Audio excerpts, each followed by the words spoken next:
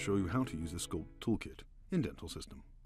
The Sculpt Toolkit is a set of powerful tools which appears in the Anatomy Design step to enable you to transform and shape your restoration.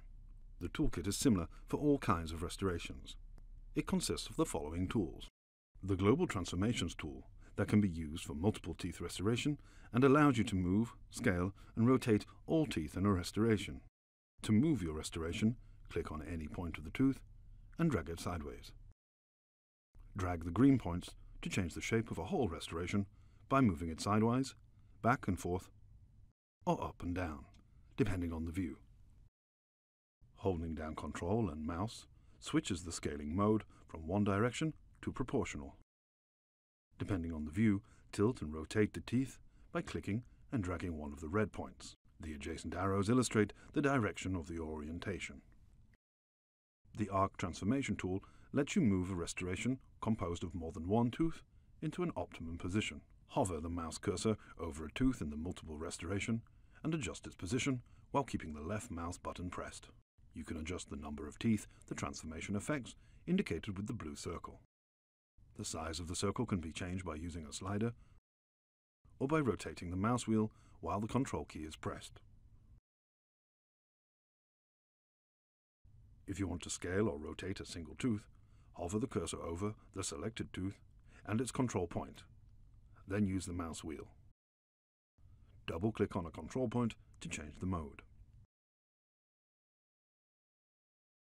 The individual transformation tool can be used both for a single restoration and a single tooth in a multiple teeth restoration.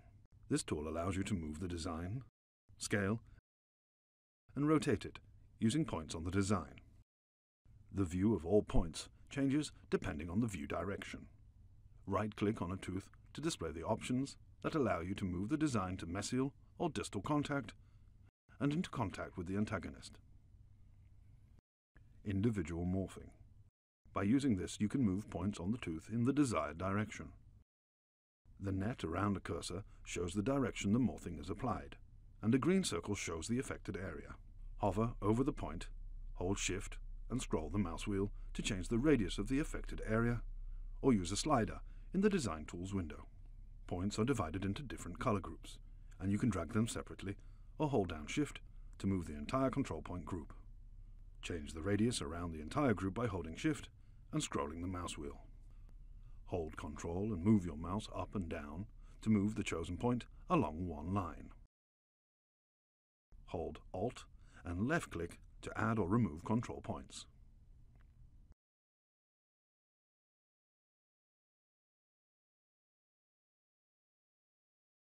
Use the wax knife tool to add and remove material to and from the design, and to smooth its surface. Choose one of the three options and click on the design to apply the operation. Select the radius and level of the influence of the wax knife by using the two slide bars. Alternatively, use Shift plus the mouse wheel to change the radius, and Control plus the mouse wheel to change the level. The wax knife also has the threshold button that limits adding and removing material to the value set with the sliding bar. Threshold can be measured from the preparation scan to adjust the tightness of the contact point. Antagonist scan to get a light or tight occlusion. Die interface or neighboring teeth undercut to get a broad contact.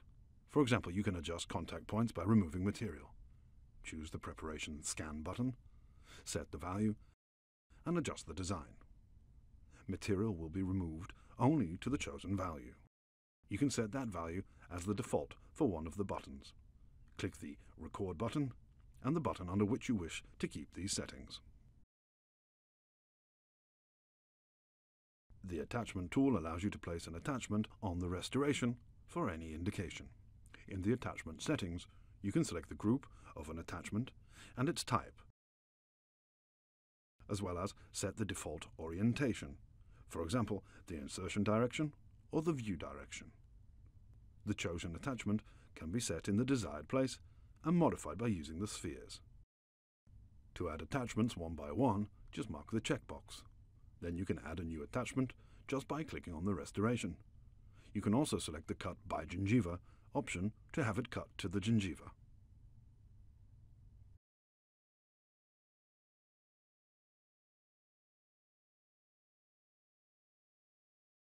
The plane cut tool allows you to cut your restoration with a plane. You can move and adjust a plane by using the spheres. The smoothing parameter lets you adjust the amount of smoothing of the cut edges with the slide. In case of two neighbouring teeth being modelled, you can check the Cut Between Teeth checkbox and define the width of the cut in the space field.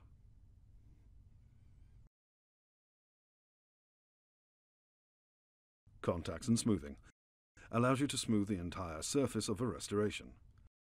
Set the level of occlusal attrition, as well as set and enforce minimum thickness, the distance to the antagonist, the precise cut to the antagonist, and the distance to neighbours.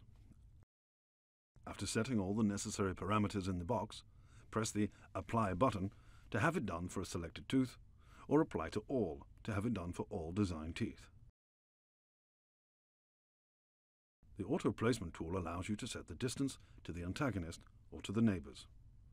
Just fill in the value of the desired distance and click the Apply button.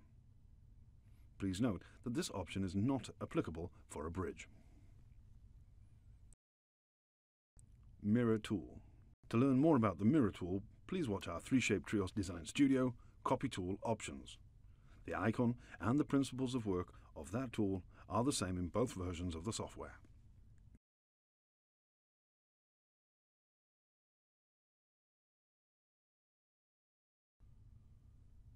The connection to the margin line tools allow you to connect the designed anatomy to the margin line.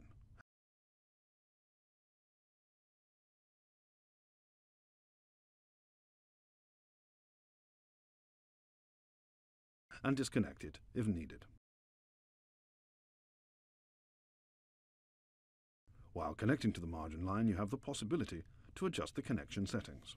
The Simple Connection checkbox allows you to connect the design to the margin line without applying extra smoothing to the anatomy near the margin line, keeping the design unchanged.